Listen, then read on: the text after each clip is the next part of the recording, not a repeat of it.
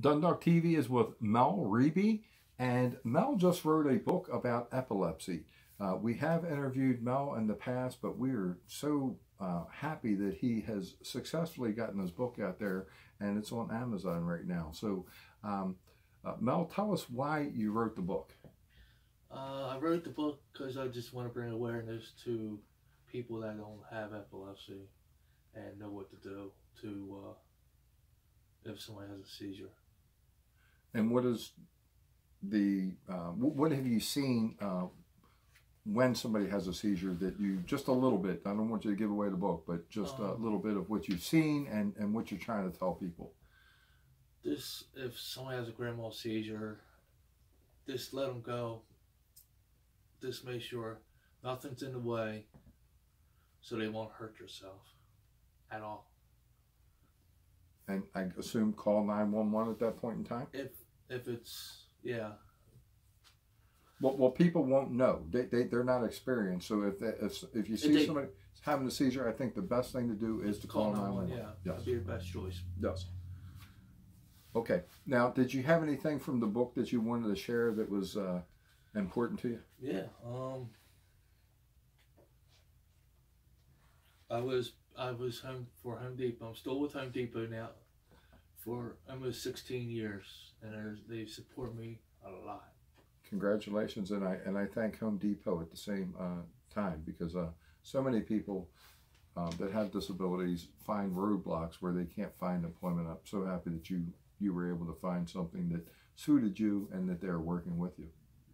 Uh, they're, they're like my family for 16 years they support me and my wife. I don't know how many times. It's uh, it's a good journey. They're making a huge difference in your life. Wonderful.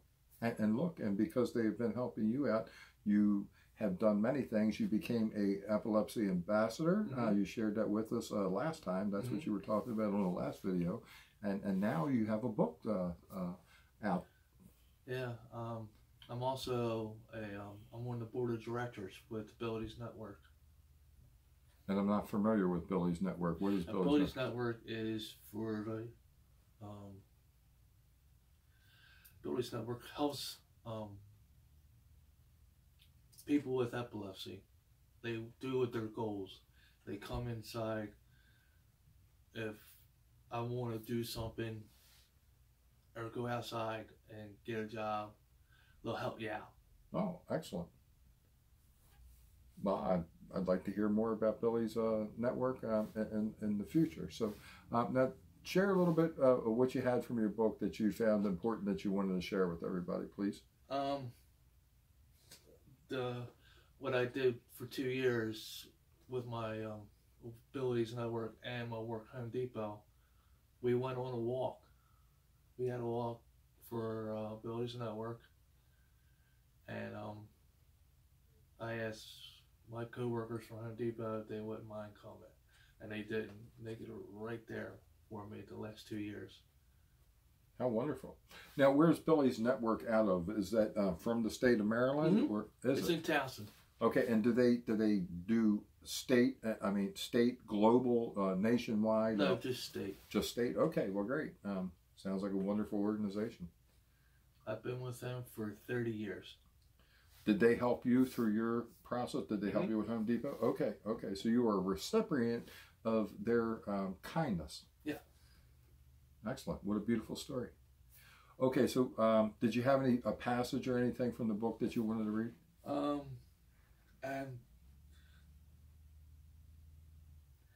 some of them is like for um, education wise. Yes. It's for like um, in the United States, we only got 75 million people are diagnosed with it.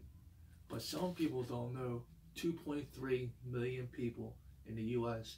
is diagnosed every day. It's half a million people in New York City. Mm. Well, um, one of the things is I try to bring brain injury awareness every day, so I'll take the opportunity a little bit here. Is I suffered uh, I suffered from blackout seizures, and uh, seizures are horrible. Um, and um, the seizures that I had actually weren't the type that that made me fall on the ground or anything. They were Mhm. the type of seizures that I couldn't remember what happened, so I would I would just black out. Um, now, I, no one told me that I was on the ground or anything like that. I just had something happen to me where I said, "Hmm, it happened again," and very unpleasant experience. Right. Um, so, uh, but we had talked something about um, in- the past about uh, that you had sleeping, that you were concerned about falling out of bed because you Mhm. can have seizures. So that, Right. that was something very important because I've actually talked to people that suffered brain injuries from falling out of bed. So somebody that has epilepsy, if they fall out of bed, then they can have a dual uh, problem. They could have ep- epilepsy and they could have a traumatic brain injury on top of it. So what Yeah. did you do to counter that? Um, I uh, when I had seizures, I made sure anything's in the way. I just push them out to make sure um, I'm not hitting anything to hurt my head or hurt myself. Well, that's really important. You don't want to hurt your head, that's for sure. Or you got people around him. You can tell him if he has a seizure or she has a seizure.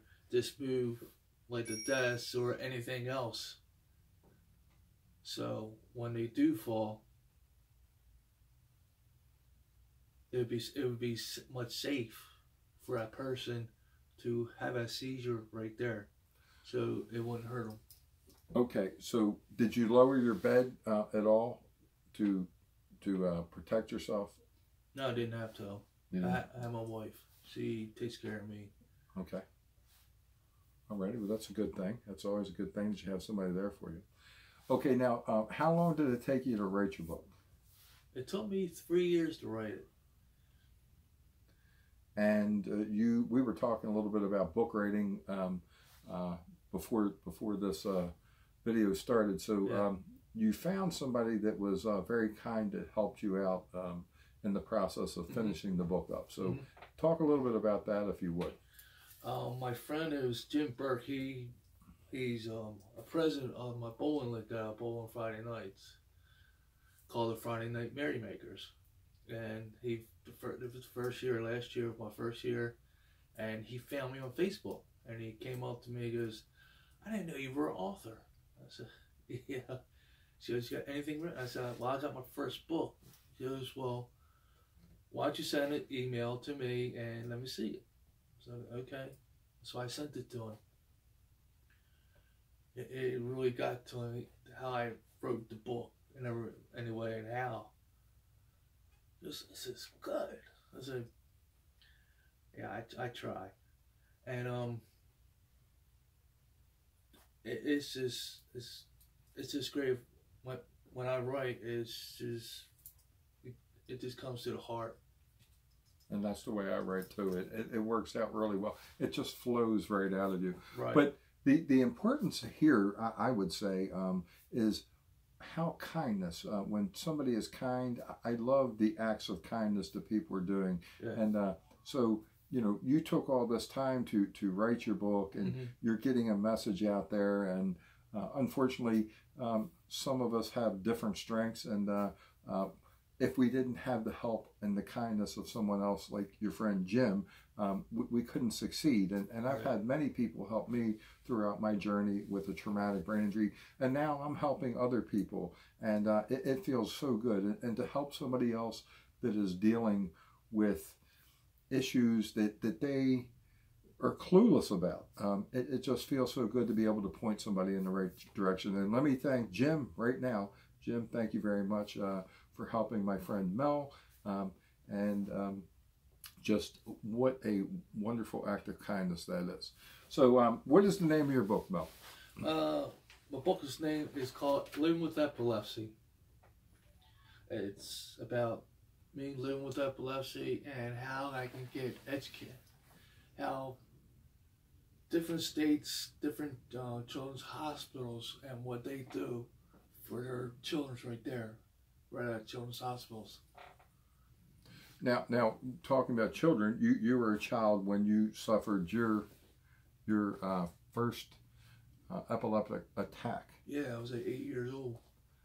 So uh, share just a little bit about that and just you know what you kind of learned a little bit without giving the book away, of course, um, and just um, and and um, just to kind of clue people into maybe the early signs of of what um, might give an indication that someone is suffering uh, from an epileptic attack. I mean, when I was young,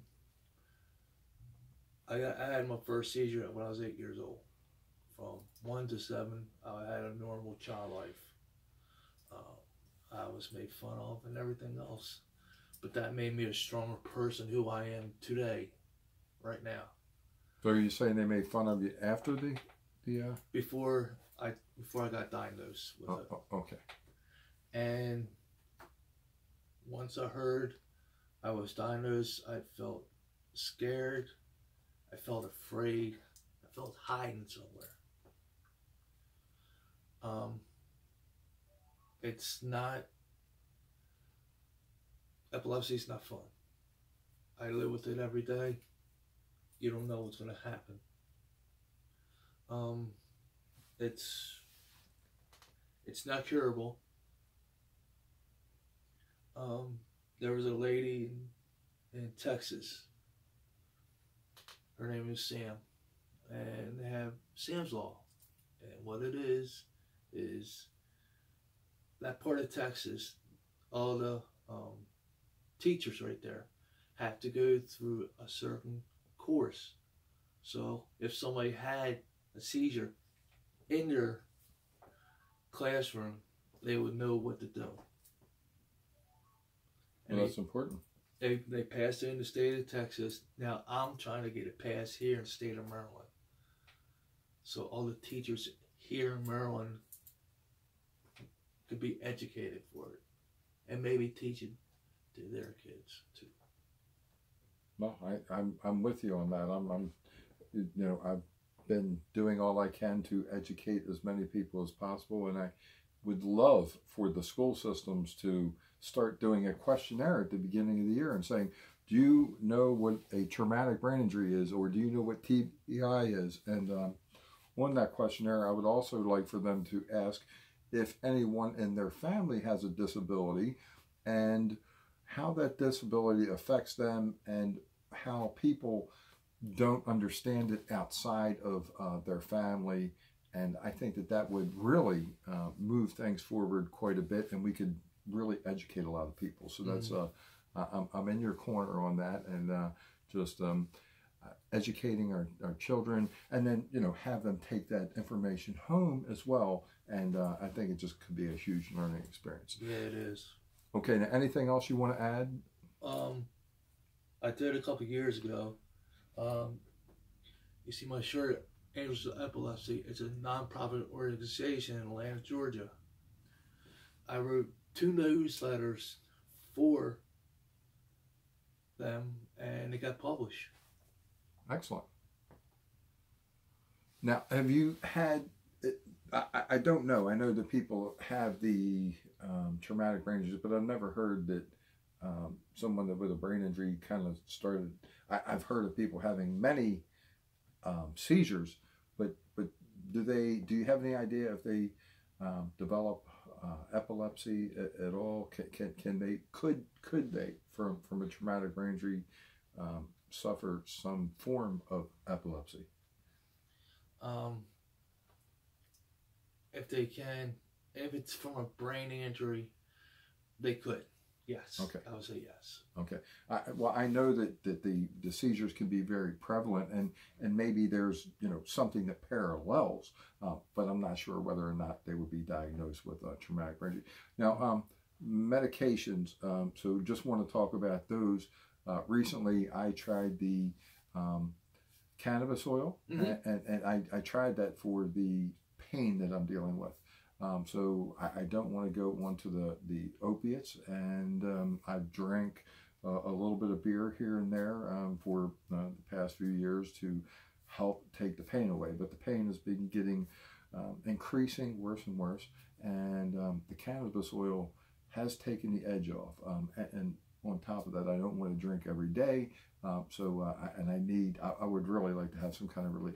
The, the cannabis oil did make a difference. Now, have you heard of anybody um, with? I've heard that, that cannabis oil or, or, or cannabis cannabis products uh, actually, so it wouldn't be the oil. Um, it would actually be medical marijuana. Mhm. Actually, does help people out that, that have seizures from uh, traumatic brain injury. So, uh, what do you see in that area, and, and have you tried that yourself? No, I haven't tried it out. Um, I have a um, implant put in my system. It's called the magnetostimulator. Um, I have a magnet right here that stops the seizures. I had it since I had it for 25 years. I was on uh, local news for it. Um, and it works. And it works very good too. I mean, that used to be then. Now it's got the legalizing the marijuana and all everything else, and that that works now. but you have something that's working well for you now. So Yeah. you're so you're managing. Um, it's life is not easy. You're still dealing with uh with um, seizures from time to time, Mhm. but you're managing. You're living a full and productive life, which Yeah. is uh, very important. Um, I have a family. I have a wife. I have grandchildren, great grandchildren. Have stepsons who love me dearly. Well, you're a very likable guy. Well, thank you very much for doing this interview, Mel, and uh, best of luck on your um, uh, book. And uh, I think that copy that you have, you signed that to me, didn't you? I did. Well, let me have it. There you go. And thank you so much, Mel. Uh, Not a problem. best of luck.